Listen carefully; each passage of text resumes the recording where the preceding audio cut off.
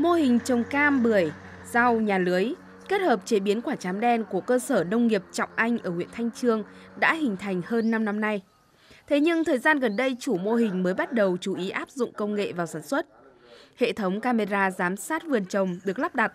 vòi tưới phun được gắn điều khiển qua điện thoại và người phụ nữ vùng nông thôn này cũng đã thành thạo các thao tác để quảng bá, kinh doanh sản phẩm nông nghiệp do cơ sở sản xuất lên các trang mạng xã hội, website.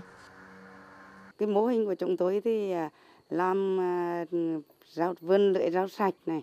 rồi à, cam bưởi để đặc, đặc biệt là cái chế biến cái quả trạm đến đấy trong cái mùa dịch bệnh thì nói chung dù dịch bệnh nhưng mà chúng tôi vẫn cứ có các cái trang ghép có màng rồi vẫn bán nói chung vẫn bán chạy hàng chứ cái ở Nông Nam trong Sài Gòn rồi Hà Nội. Trên địa bàn huyện Thanh Trương của tỉnh Nghệ An mặc dù chưa có nhiều mô hình nông nghiệp chế biến sản phẩm ứng dụng sâu, nền tảng công nghệ số, nhưng cái mà nông nghiệp địa phương thích ứng được chính là quảng bá tiêu thụ sản phẩm qua các kênh bán hàng online như thế này.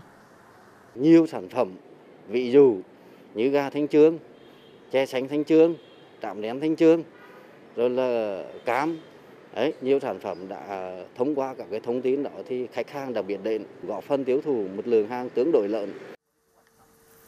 Tại xã Khách Hợp, huyện Nghi Lộc, mô hình nhà vườn trồng rau cây ăn quả này có diện tích 1 hecta.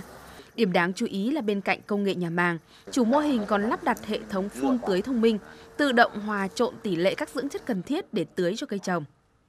Cứ hàng năm như vậy là như dưa lưới thì à, à, làm thường thường 3 vụ một vụ cà chua. Và hiện tại là vườn đang à, trồng dâu tây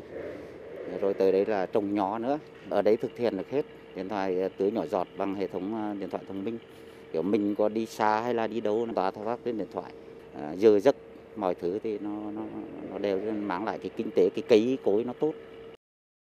Nông nghiệp nông thôn Nghệ An hiện đang trong giai đoạn đầu của ứng dụng chuyển đổi số. Để bắt kịp xu thế thời đại sản xuất kinh doanh trên nền tảng số hóa, ngành nông nghiệp, chính quyền các địa phương cũng cần quan tâm hỗ trợ các cơ sở sản xuất, hợp tác xã, bà con nông dân tham khảo, học hỏi các mô hình mẫu, hiệu quả trong ứng dụng số. Từ đó có thể khuyến khích các cơ sở sản xuất, người nông dân mạnh dạn đầu tư thiết bị công nghệ thông minh để phục vụ canh tác, nuôi trồng, tạo ra giá trị hàng hóa, nâng cao thu nhập.